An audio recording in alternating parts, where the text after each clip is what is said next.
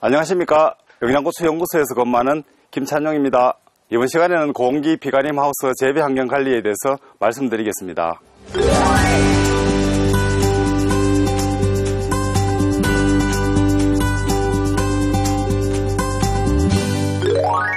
건고초의 경우 탄저병 등 병 발생의 경감과 생육기간의 연장에 따른 다수학 재배 방법으로 시설 재배를 도입하게 되었으며 매년 하우스 면적이 증가하고 있는 추세에 있습니다.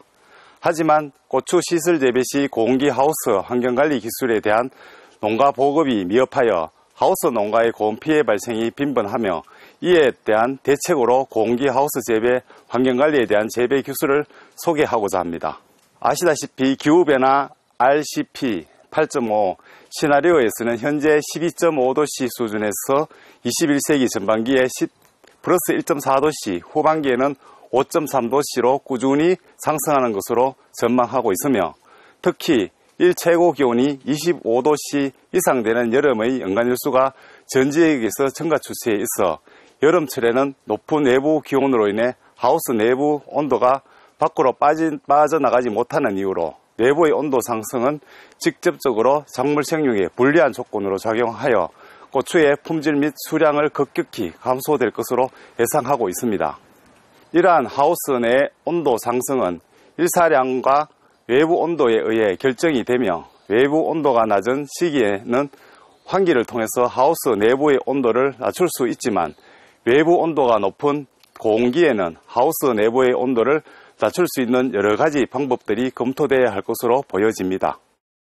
하우스 내부의 온도가 특정 범위일 때는 일사량의 40% 정도가 정산에 의해 수분이 배출되고 여본을 하강시켜 시켜 강압성으로 인해 작물 생장이 정상적으로 이루어지게 됩니다. 하지만 고온기의 강한 일사는 여본보다 외부 온도의 상승으로 인하여 정산이 원활치 않아 작물의 고온 피해를 유발하게 됩니다.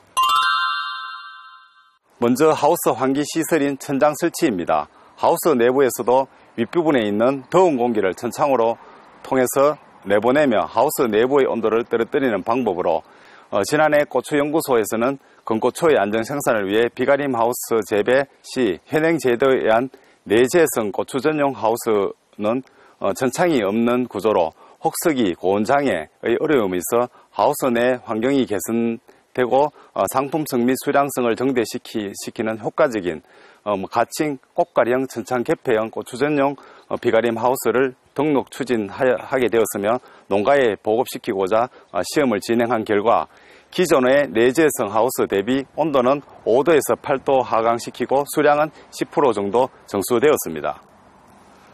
어, 다음은 차강 기술입니다. 이것은 하우스 내부로 들어오는 일사 햇빛 투과율을 차단하여 온도를 떨어뜨리는 방법입니다.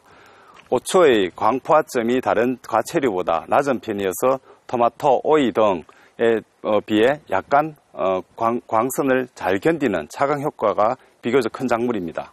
다음은 알루미늄 스크린입니다. 여름철 고온기에 저비용으로 온실 및 하우스 내 온도를 하강, 토마토의 경우 혹석이 연장 제보로 수량을 증대시킨다는 연구 결과도 있습니다. 아, 차, 강 도포제로인데 탄산 칼슘, 전분율의 수용성 바인드 등이 있습니다. 시설 내로 유입되는 일사량을 감소시켜 온도로 낮출 수 있는 효과적인 방법입니다. 다음은 저압 분무 장치입니다. 하우스 내부의 작은 입자를 물방울의 수증기로 정발시키는 정발 잡녀를 이용하여 하우스 내부의 온도를 떨어뜨리는 방법으로 미세살수를 위하여 물입자를 분무할 수 있는 노즐 2m 높이에서 3m 간격으로 설치하여 고온기 시설 내의 온도와 습도를 적절히 조절해 주어 시설 내 작물의 생육 환경과 어, 농작업 환경 개선의 어, 장점을 함께 가지고 있어 고추 비가림 하우스 재배 시 고온으로 인한 생리장애 극복할 수 있는 그런 어떤 장치입니다. 아, 저압 분보 장치는 5도에서 10도 온도 하강 효과와 어, 살포 입자가 적어 공기 중 처리 효과가 우수하여 무인 농약 방제에 활용도 어, 효과적으로 어, 효과적입니다. 아, 다음은 광지의 한기 팬입니다. 공기 순환 팬이 상방향으로 어, 가동되고 어, 환기팬이 연동하여 더운 공기를 온실 밖으로 빠르게 배출을 하여 온도를 떨어뜨리는 방법으로 파프리카 재배에 있어서 사연동 온실에서 여름철 공기순환과 환기팬 사용하였을 때 온실 최고 온도가 사용하지 않았을 때보다 4도씨를 낮출 수 있다고 합니다. 환기는 시설 외 공기 교환에 의해 시설의 기온, 습도, 이산화탄소 농도 등을 조절하고 또한 유해가스를 바깥으로 배출하여 공기 유동을 통하여 시설 내부의 기온, 습도, 이산화탄소의 분포를 균일하게 하는 효과도 있습니다. 어, 위에서 언급한 하우스 전창 설치, 차광 스크린, 어, 저압 분무 장치, 환기팬 등 나열된 기술들을 종합적으로 투입하면 그 효과가 배가 될 것으로 예상하고 있으며 이러한 효과를 빅데이터 분석을 통해 검증된다면 보다 효율적인 공기의 에너지 소비를 최소화하면서 어, 수분과 착가율을 증대, 고온으로 인한 생리장애 경감, 생육 촉진에 의한 품질과 수량성 증대를 동시에 향상시킬 수 있고 나아가서는 안전성을 어, 확보된 고품질 고추 생산 체계 구축이 가능해질 것으로 어, 봅니다. 이상으로 어, 고온기 하우스 재배 환경 관리 방법에 대해서 알아보았습니다.